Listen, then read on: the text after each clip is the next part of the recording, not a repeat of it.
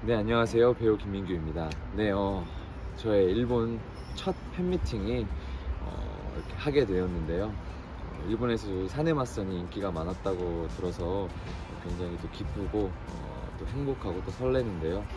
그럼 저희는 5월 14일, 15일 그때 뵙도록 하겠습니다. 그때 만나요.